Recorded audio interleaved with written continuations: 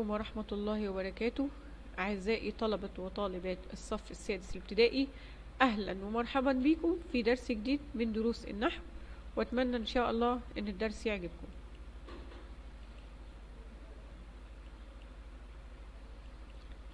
درسنا النهاردة هو كان وأخواتها. وخلي بالك عشان تفهم درس كان وأخواتها لازم تفهم كويس قوي درس أنواع الخبر لأن المنهج هنا لازم تفهمه من أوله النحو قائم على بعضه ولازم تفهم الدرس الأولاني عشان تستوعب بقية النحو. هنراجع مع بعض كده بسرعة ونشوف الفرق ما بين الجمل قبل كان وأخواتها وبعد ما دخلت عليها كان وأخواتها. الحديقة رائعة الجمال الحديقة رائعة الجمال طيب لو أنا هدخل على الجملة دي كان وأخواتها هتبقى كانت الحديقة رائعة الجمال كانت الحديقة رائعة الجمال هنخلي بالنا كان وأخواتها بتدخل على الجملة الإسمية. طيب ما غيرتش حاجة في المبتدأ. الحديقة مرفوعة بالضم عادي جدا. مرفوعة بالضم عادي جدا. لكن غيرت الخبر. كان وأخواتها ملهاش دعوة بالمبتدأ خالص لكن غيرت الخبر. يعني في الجملة الأولانية الحديقة رائعة الجمال الحديقة مبتدأ مرفوع بالضمة رائعة خبر مرفوع بالضمة. لكن لما دخلت كان وأخواتها الحديقة هنا إعرابها اختلف. ورائعة أيضا إعرابها اختلف. هنقول الحديقة اسم كان مرفوع بالضمة رائعة خبر كان منصوب بالفتحة. يبقى كان وأخواتها أفعال بتدخل على الجملة الإسمية بتخلي المبتدأ زي ما هو. المبتدأ مرفوع بالضم عادي لكن بيبقى اسم كان أو اسم ما زال اسم ليس. لكن بتغير في الخبر وبتخليه منصوب. يبقى كان وأخواتها بتنصب الخبر. طيب المعهد كبير المعهد كبير. المعهد مبتدأ مرفوع بالضمة كبير خبر مرفوع بالضمة. طيب لما دخلت كان واخواتها على الجملة هتبقى ليس المعهد كبيرا. لو بصينا على الخبر هنا كلمة كبير أصبحت منصوب أصبح منصوب. خلي بالك خلي بالك كان وأخواتها بتنصب الخبر بتنصب الخبر. التلميذان مجتهدان. التلميذان مجتهدان طيب لو هدخل أنا كان واخواتها تبقى أصبح التلميذان التلميذان زي ما هي. طب الخبر أو المثنى بينصب بإيه؟ طبعا بينصب بالياء. هتبقى مجتهدين. تبقى صار التلميذان مجتهدين. ليه؟ لأن المثنى بينصب بالياء. التلميذتان مجتهدتان مع المثنى المؤنث. تبقى كانت التلميذتان خلي بالك كان أخواتها ما غيرتش حاجة في المبتدأ. هي شغلها كله على الخبر. علشان كده بقول لكم الدرس قائم على الدرس اللي قبله إن كان أخواتها عشان أفهمها كويس وأستوعبها لازم أكون فاهم درس أنواع الخبر. طبعا مجتهدتين هتبقى منصوبة بالياء لأن كان أخواتها بتنصب الخبر تبقى مجتهدتين. خبر كان منصوب وعلامة نصبه الياء لأنه مثنى المرضى متألمون. المرضى متألمون. هتبقى أضحى المرضى متألمين. كان وأخواتها بتغير في الخبر. طبعا المثنى بينصب بالياء وجمع المذكر بينصب بالياء. الحراس مستيقظون. فين الخبر؟ كلمة مستيقظون هتبقى بات الحراس مستيقظين. بات الحراس مستيقظين. الطلاب أذكياء هتبقى أحسنتم. يا ولاد يظل الطلاب أذكياء. طبعا أذكياء خبر يظل منصوب بالفتح. الأمهات ساهرات. طيب نراجع مع بعض كده. جمع المؤنث السالم. بيرفع بالضمة وينصب ويجر بالكسر. يرفع بالضمة وينصب ويجر بالكسر. طيب تبقى إيه؟ باتت الأمهات ساهرات لأن ساهرات خبر بات منصوب بالكسر لأنه جمع مؤنث سالم. يبقى علشان أفهم كان وأخواتها كويس لازم أعرف أطلع الخبر لأن كان واخواتها بتغير في الخبر. ولازم أكون عارف علامات الإعراب للمفرد والمثنى والجمع طيب مع بعض. مثال أو نموذج إعرابي كامل. كان البستان مثمرا. كان البستان مثمرا. كان طبعا فعل ماض ناقص ناسخ. مبني على الفتح. فهو كان فعل ماض. عادي. طب ليه ناقص؟ لأنه لا يتم معنى الجملة إلا بوجود الخبر. معنى الجملة اللي دخلت عليها كان أخواتها ما بيتمش إلا بوجود الخبر. عشان كده اسمه فعل ماض ناقص. طب ليه ناسخ؟ ناسخ لأنه بيغير في إعراب الخبر. ناسخ لأنه بيغير في الإعراب. البستان هتبقى اسم كان مرفوع وعلامة رفعه الضم لأن قلنا كان وأخواتها ما بتغيرش في المبتدأ حاجة لكن بتغير في الخبر.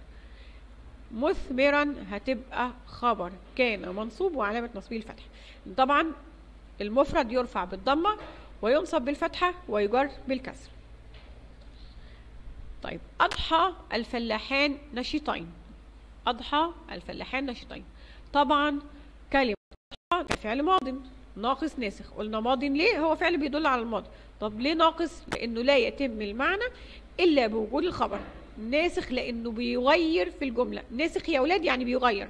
يغير في معنى في الإعراب بتاعي. الفلاحان تبقى إيه؟ أحسنتم. اسم. أضحى منصوب ولا مرفوع؟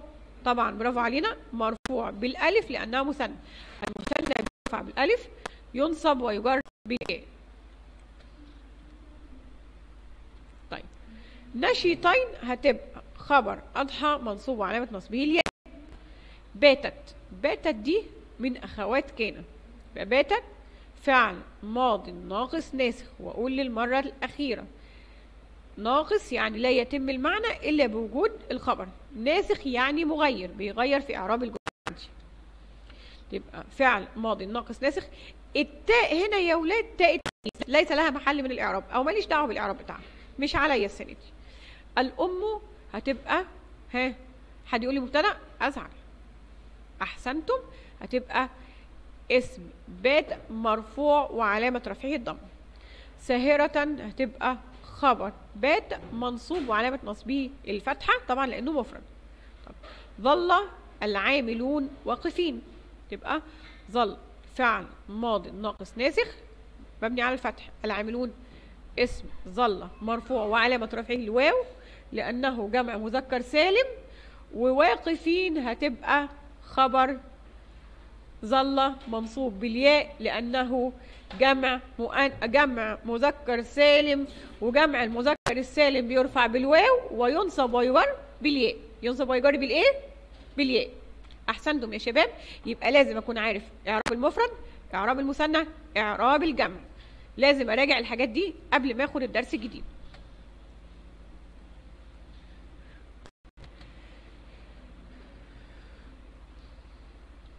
هناخد القاعدة مع بعض يبقى كان وأخواتها أفعال ناقصة ناسخة. تدخل على الجملة الإسمية ترفع المبتدأ ويسمى اسمها وتنصب الخبر ويسمى خبره ويسمى خبره. تاني كان وأخواتها أفعال ناقصة ناسخة تدخل على الجملة الإسمية ترفع المبتدأ ويسمى اسمها تنصب الخبر ويسمى خبر ولازم أكون عارف علامات الإعراب من الأول المفرد والمثنى والجمع علشان أقدر إن أنا أفهم القاعدة بتاعتي كويس. طيب.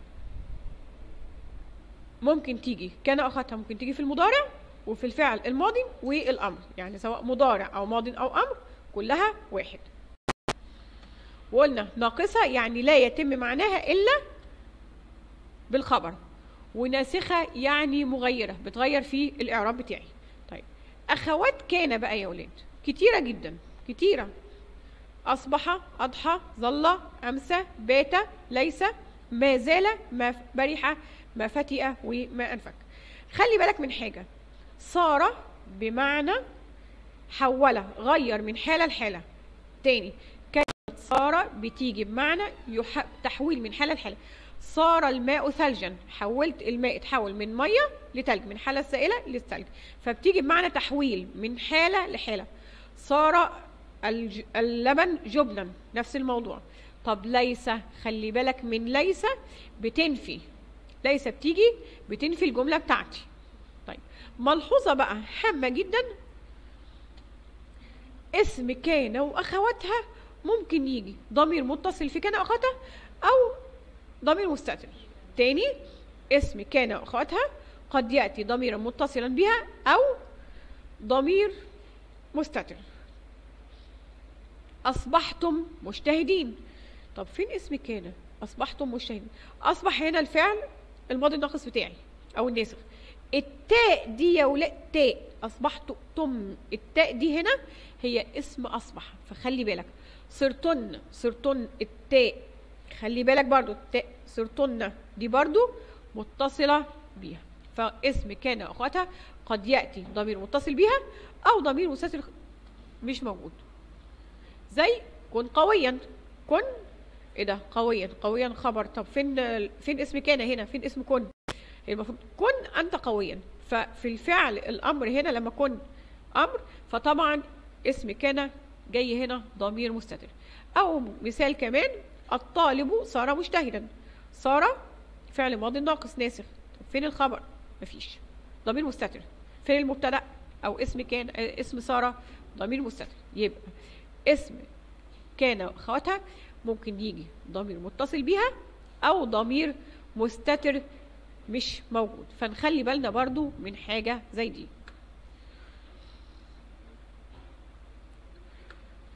بعد كده هناخد مع بعض التقويم. استخرج خبر كان أخواتها ثم أعربه استخرج خبر كان أخواتها ثم أعربه أصبح الجو باردا.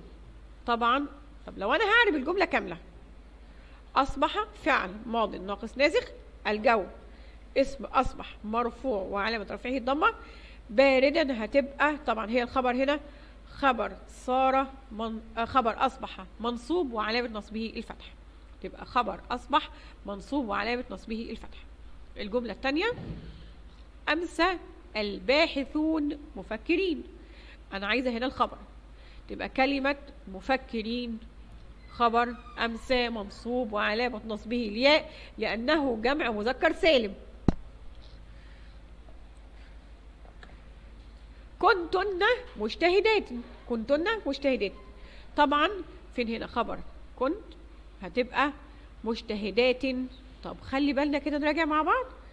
هي الجمع دي جمع مذكر ولا مؤنث؟ آه جمع مؤنث سالم. وجمع المؤنث السالم بيرفع بالضمة وينصب ويجر بالكسره يبقى هنا مجتهدات خبر كنت منصوب وعلامة نصبه الكسرة لأنه جمع مؤنث سالم أتمنى إن شاء الله إن الدرس يعجبكم وتكونوا فهمتوه كويس.